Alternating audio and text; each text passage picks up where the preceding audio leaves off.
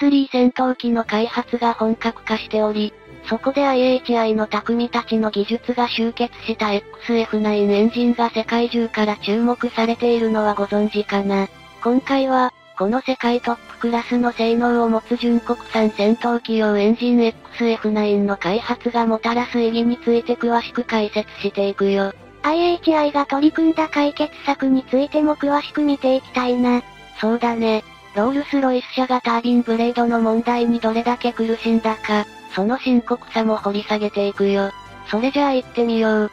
ゆっくりしていってね。2035年に日本の F2 戦闘機が退役を開始するのに照準を合わせて開発が進められている次期戦闘機は、BAE システムのテンペストの開発を進行させていたイギリスとイタリアとの間で、それぞれの研究成果を合体させて共同開発することを決定したよ。2022年12月9日には英日三国によるグローバル戦闘航空プログラムグローバルコンバットエアープログラム GCAP の設立が公表されると、そのプログラムを一元的に管理運営して各国企業の役割分担などを調整するのに必要な国際機関として、GCAP 政府間機関 GCAP インターナショナルガバメントオーガニゼーション GIGO 通称 JIGO が2024中にイギリスで設立される予定だね。防衛省では、仮想敵国とされるロシアや中国の強大な空軍力に対抗するため、それらの国々よりも圧倒的なハイスペック能力を持つ戦闘機を保有することで、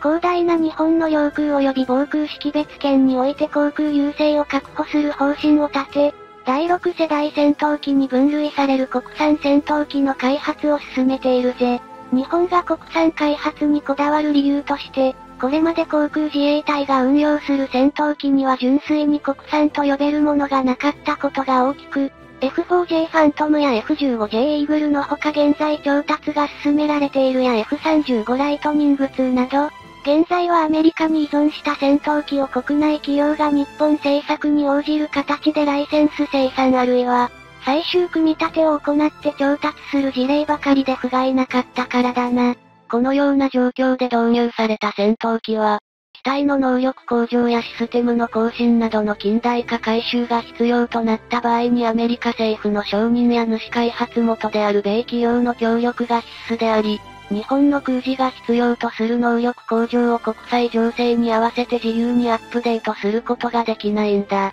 また、日本が試験国家としての安全保障政策を存続させる観点からも、軍事関連の技術や産業を維持育成しておくことは必要不可欠であり、あるいは上長性の観点からも複数の機種を同時並行で運用する形をとっておくことが必要であるため、国内技術を中核とする新戦闘機開発を実施しておかなければならないことも次期戦闘機を国産開発とした理由の一つだな。現在運用している F2 戦闘機も一応国産と謳われているが、実際そのエンジンは F2 戦闘機の原型となった F16 ファイティングファルコンに搭載されている。アメリカのゼネラルエレクトリック製の F110 を IHI がライセンス生産したものであるため純国産とは言い難いわけだ。さらに F2 の機体の約40%は米国内のロッキード・マーティンの工場の生産ラインで製造された完成部品が日本に輸出されて三菱重工業が組み立てていたため、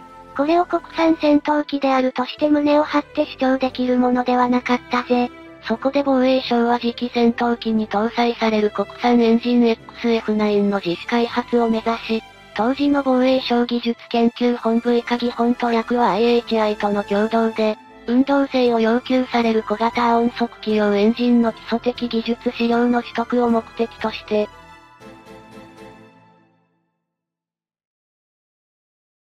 続いて、将来の次期戦闘機に搭載可能なエンジンを開発するための先進的な要素技術やステルス性能を実証するために開発された、先進技術実証機 X2 心神に搭載する XF5 を IHI が開発しているね。この XF5 はアフターバーナーを備えたターボファン方式のジェットエンジンで推力約5トン推力重量比は7.8対1であり、ジェットエンジンの性能を表す指標とも言われるタービン入り口温度は1600度が計測され所定の性能を発揮して見事開発に成功したぜ。防衛省の技本と IHI が XF5 の開発成功を機に、2010年から次期戦闘機への搭載を目的とするエンジン開発に着手しており、その際に次の3つのコンセプトが掲げられハイパワースリムエンジンと呼ばれるようになったわけだ。まず一つ目に世界屈指のハイパワーレベルを有し、戦闘機の高速性と高機動性に貢献すること。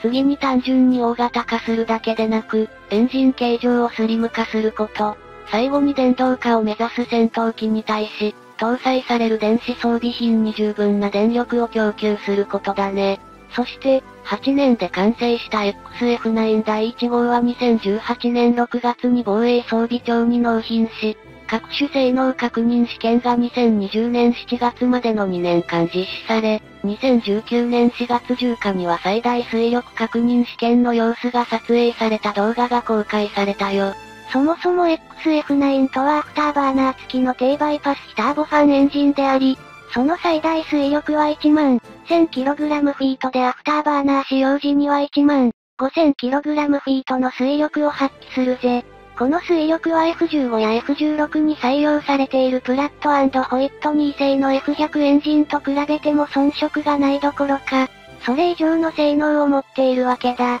また、エンジン内部のファンは3段、圧縮機は6段、高圧タービンと低圧タービンは各1段と構成されており、タービン入り口の最大温度は1800度であることから F100 をはるかに上回り、また全長約4.8メートル入り口直径約1メートルという構造は F100 よりも小さいらしい。このようにスリム化されたスタータジェネレータによって、180kW 級の大容量の電力を供給することができるようになり、水力方向制御は後部に装着された水力変更ノズル XVN31 によって、変更角度全周20度を可能としたよ。一方でアメリカの第5世代ステルス戦闘機 F22 ラプターのエンジンであるプラットホイットニー製の F119 のタービン入り口の最大温度は、1649度で XF9 よりも低く、その他の最大推力1万 1800kg フィート、アフターバーナー使用時1万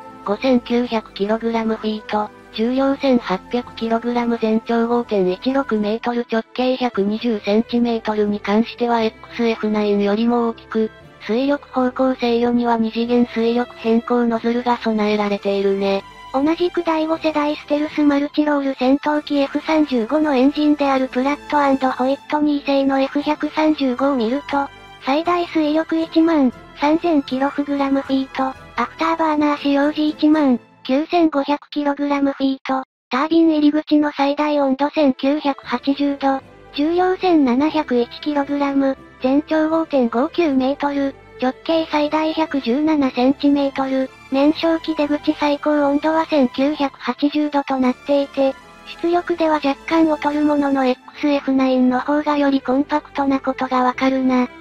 XF9 は試作段階のプロトタイプと入っても、アメリカの第5世代ステルス戦闘機に搭載されているエンジンと比較しても遜色のない性能を発揮し、かつコンパクトであることを誇りに持たなければならないぜ。これまで西側諸国のジェットエンジンといえばアメリカのゼネラルエレクトリック、プラットホイットニー、イギリスのロールスロイスの3社が牛耳っていたけど、そこで日本の IHI が XF9 の開発を成功させた背景には深い理由があるんだ。実を言うと、それら欧米3社のジェットエンジン部品の10から20%が日本製で、高圧コンプレッサー低圧タービン燃焼機、ファンケースなどの他に、タービンとコンプレッサーやファンをつなぐシャフトなどは IHI の製品が優秀であることを理由に採用されており、世界市場の7割を占めているよ。それに加えてシャフトを支えるベアリングや炭素繊維のほか、ファンに使われるチタンやニッケル元超合金なども日本製が採用されているなど、もともと XF9 を開発できるだけの素地があったのは間違いなかったぜ。実際に次期戦闘機開発が3カ国共同開発となった経緯も、イギリスのロールスロイスが XF9 と IHI の技術や日本企業の合金製造技術に注目したことがきっかけだと言われているが、日本側からすれば量産化によるエンジン製造コスト低減が大きく期待できるからだろうな。日本の航空産業が直面している主な課題は、国内での完全な自立生産能力の欠如であり、これまでの戦闘機は主にアメリカのライセンス下で生産されており、技術的な自由度や柔軟性に制限があったんだ。また、国産戦闘機の開発には莫大な研究開発費が必要であり、技術的なハードルも高いんだよね。技術移転や国際共同開発の促進による知識の獲得、国内産業のキャパシティ構築、高度な研究開発体制の確立が求められるからな。さらに、国産エンジンを含む国内戦闘機の全面的な自立を達成するためには、政府と民間企業間の連携を深め、継続的な投資と政策サポートが不可欠だぜ。これらの課題に対処することで、日本は防衛技術の分野でさらに大きな飛躍を遂げることができるだろうね。それじゃあ今回はこの辺で、よかったら、チャンネル登録してね。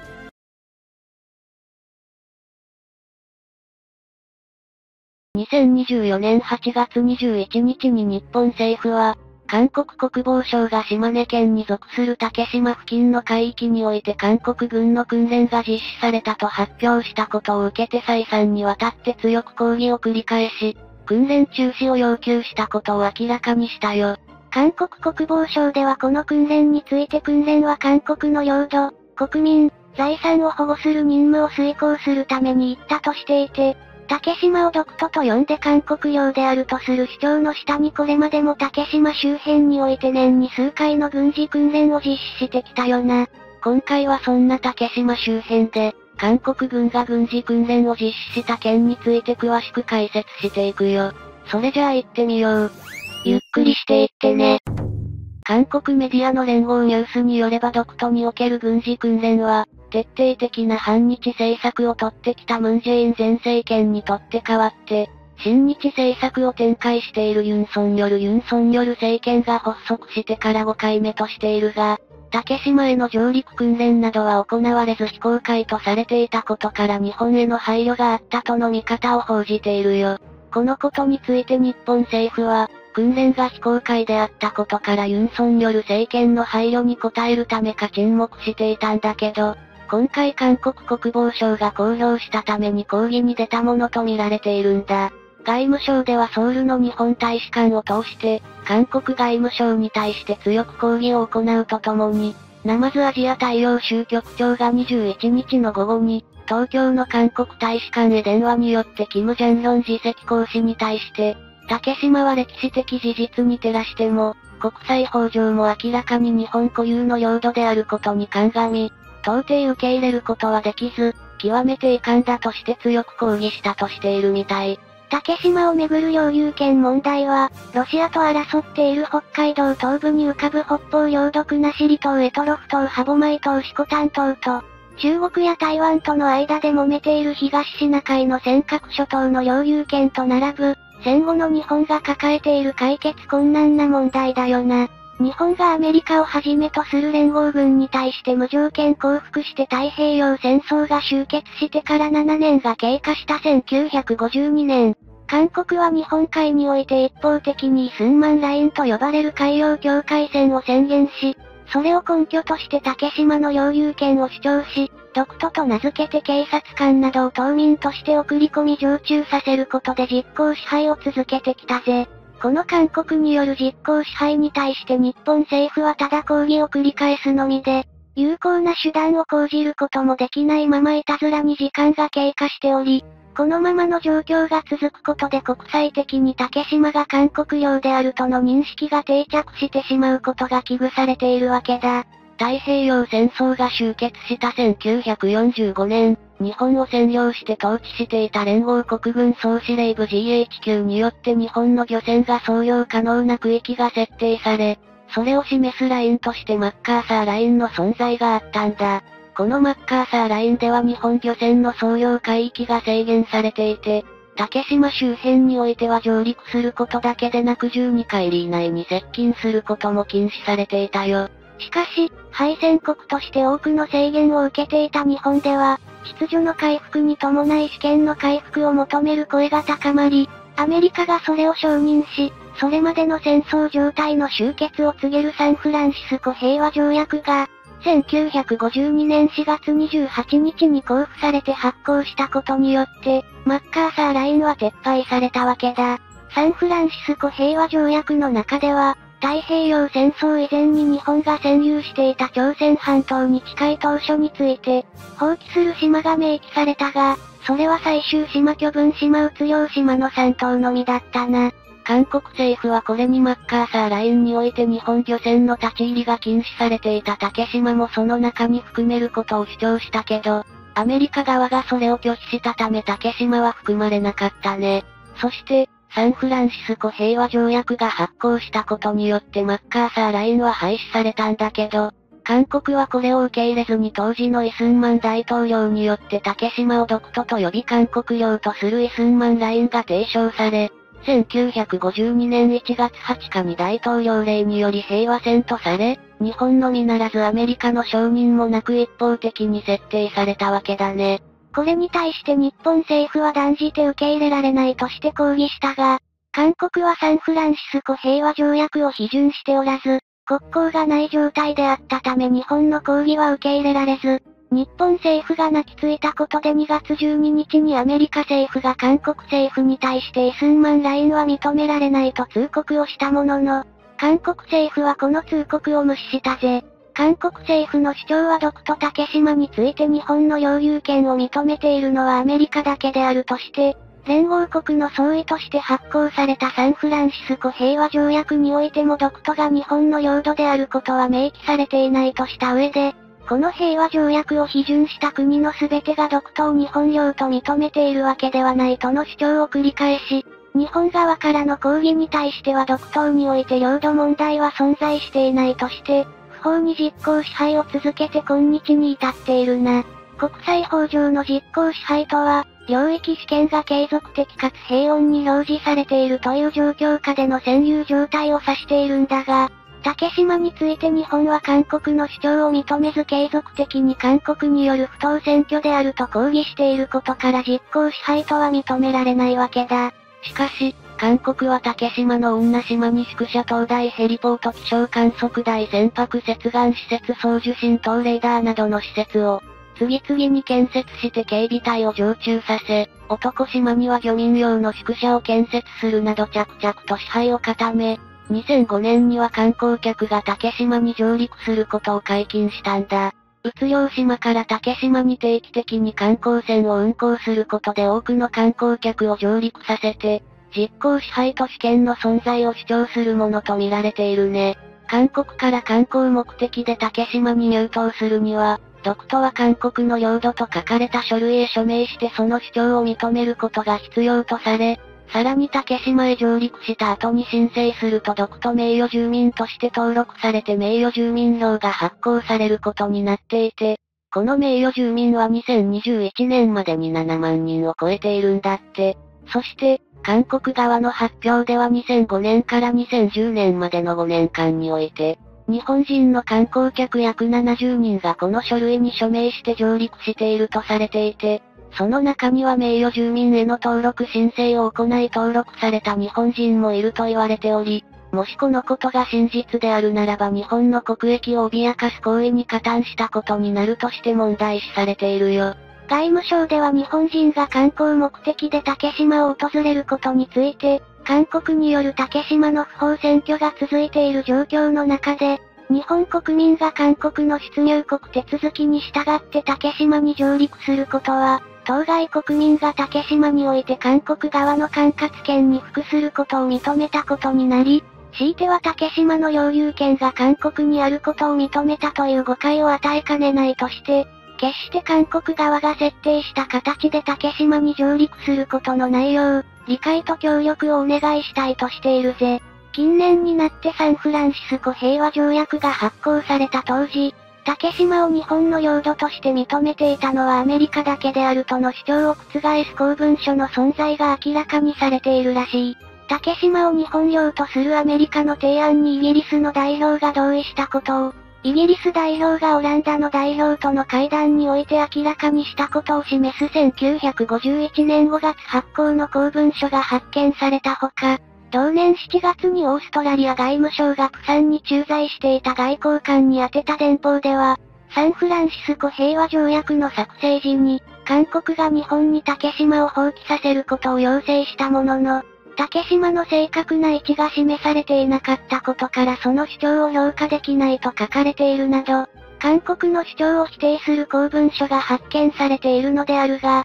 このことについて韓国では全く触れられていないな。その中で韓国は、竹島周辺での軍事訓練や各種調査を継続することで着々と実行支配の事実を固めようとしており、日本は韓国が拒否している国際司法裁判所への提訴を単独ででも実施した上で、国際社会に竹島における領有権問題の存在明らかにすべきとの声が多く上げられているよ。それじゃあ今回はこの辺で、よかったら、チャンネル登録してね。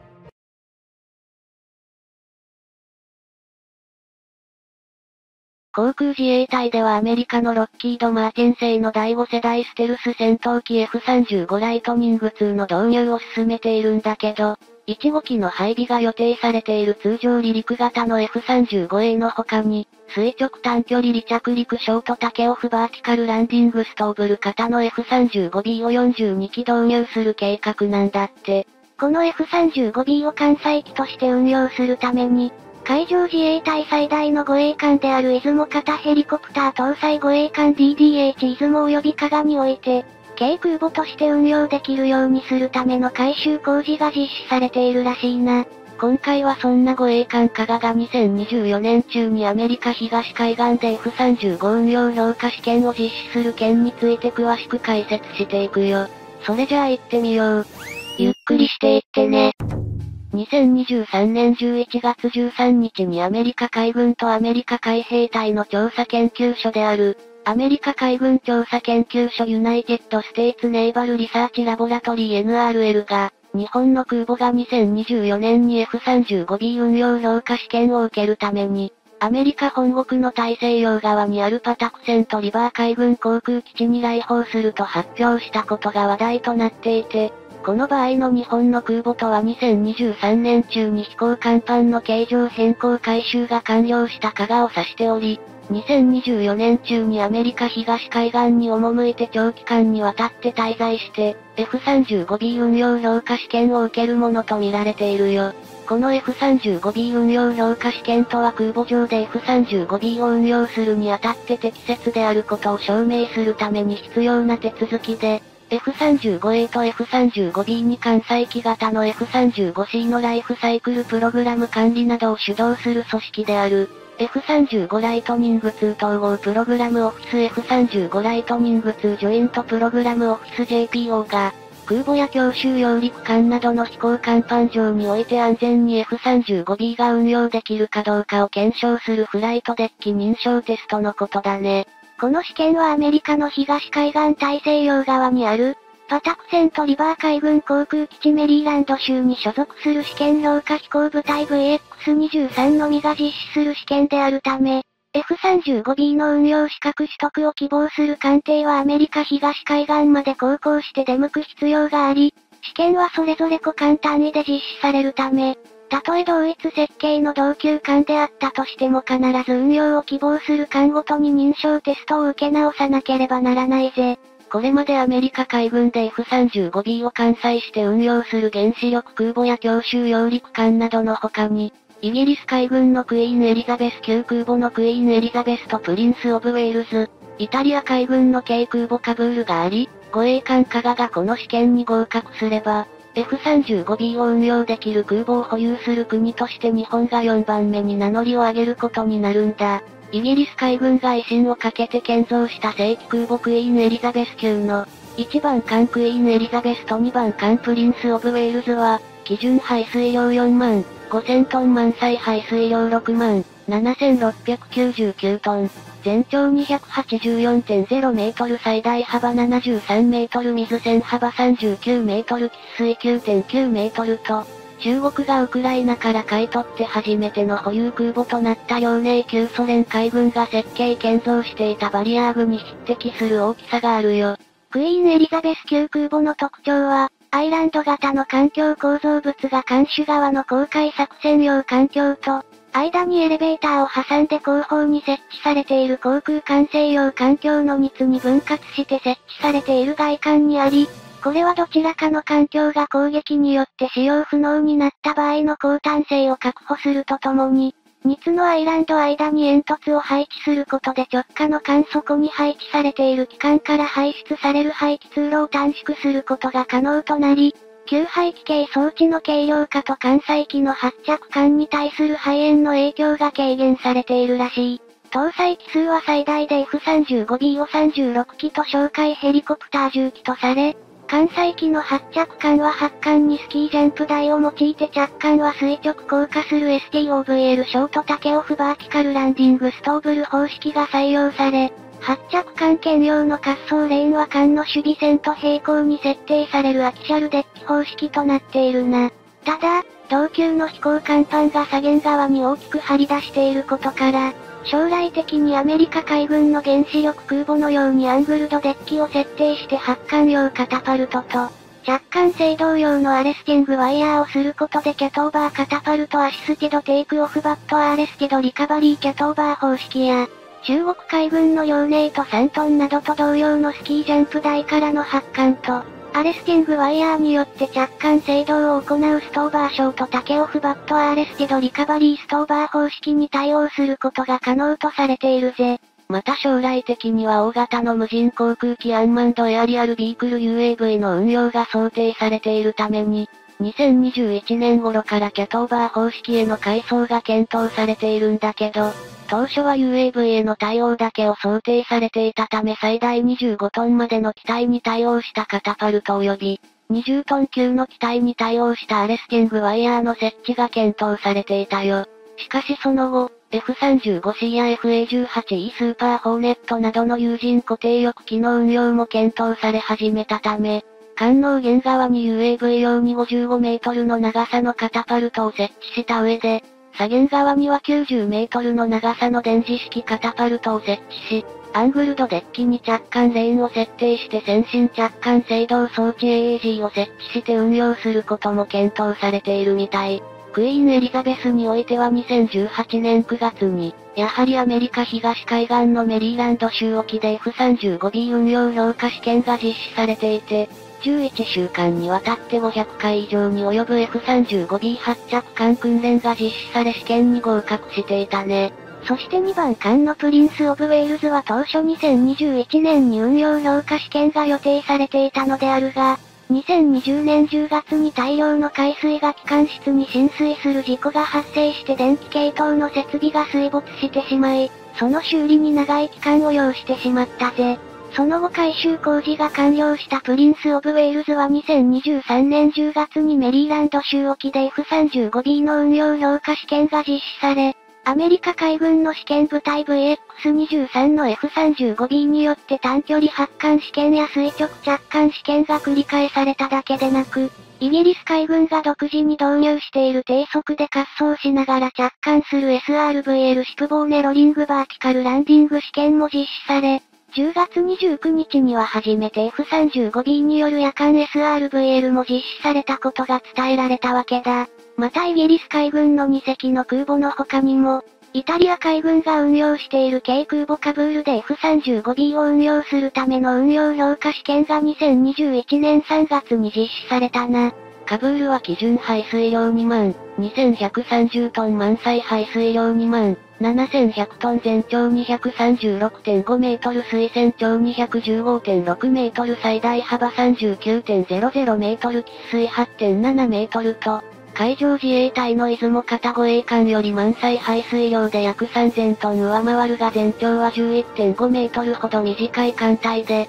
STOVL 機の AV8B ハリアーに8機と AW101、NH90、SH3D などのヘリコプターを8機搭載している軽空母だね。イタリアの空母は、カブールの先代にあたりカブールの収益によってヘリコプター揚陸艦に監視変更となったジュゼッペ・ガリバルディ以来、股間防御用の武装が重装備であることで知られていて、ジュゼッペ・ガリバルディはフリゲート並みの重装備とまで言われていたよ。カブールの兵装は 76mm 単装速射砲が2機、25mm 機関砲3機に加えて、フランスのナバルグループが開発したシルバー A43 垂直発射システム VLS が8セル ×4 機で32セルあり、単射程型の艦対空ミサイルアスター15が装填されているんだって。出雲型護衛艦を軽空母として回収を進めることが決定されたことで、日本が世界で4番目に F35 を艦載機として運用する国になることを受け、日本政府と防衛省は海上自衛官と航空自衛官からなる視察団を、2023年10月末のプリンス・オブ・ウェールズの F35 運用評価試験に派遣して、同艦において実施された試験を視察させて情報収集に努めたぜ。プリンス・オブ・ウェールズでの試験の中には無人航空機による試験や、アメリカ海兵隊との合同訓練も行っており、加賀でも同様の試験が実施される可能性があることが指摘されているな。今回は先に飛行甲板の形状変更などの空母化改修が進んでいた加賀が派遣されて F35 運用評価試験が実施されるけど、同型艦の出雲についても次の改修が実施され次第同様の試験を受けることになり、それらが全て完了する頃に海上自衛隊に太平洋戦争以来念願とされていた空母艦隊が誕生するかもしれないとして期待が膨らんでいるみたい。それじゃあ今回はこの辺で、よかったら、チャンネル登録してね。